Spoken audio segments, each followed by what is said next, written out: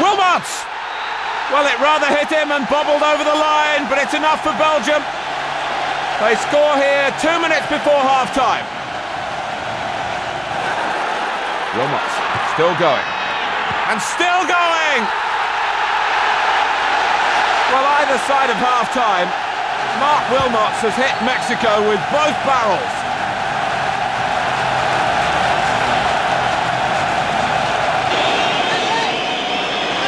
The sending off now complete Verheyen has gone.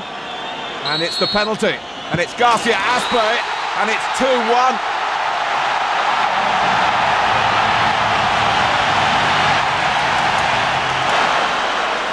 Ramon Ramirez. Mexico have got players flying into the centre. Blanco! Well, how on earth did he do that?